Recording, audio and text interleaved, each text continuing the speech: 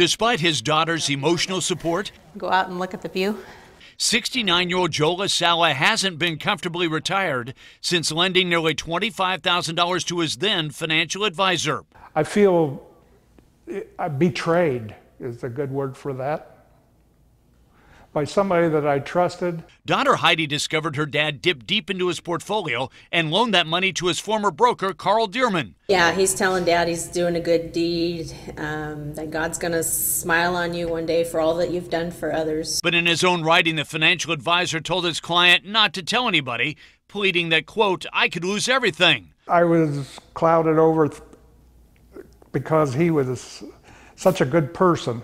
But not so good at paying back the personal loans with very little repaid in four years. Fact finders contacted two of the brokerage firms the former advisor had worked for, and within a day of our call, Joe got an email response back from one of them. Mass Mutual agreed to pay Joe $6,800, the full amount the broker borrowed from him while affiliated with that company.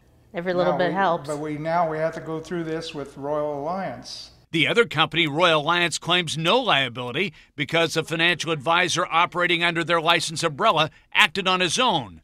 But as a goodwill offer, the firm tells Heidi it will pay her father the $18,000 that the broker borrowed. Yeah, one phone call after working a, a year with these guys. So the two securities firms will pay Joe $24,800 It won't bring back my trust in the financial people, but it will help me get by. Joe's daughter sees blue skies ahead for her dad's retirement, with the investment firms agreeing to replenish his portfolio.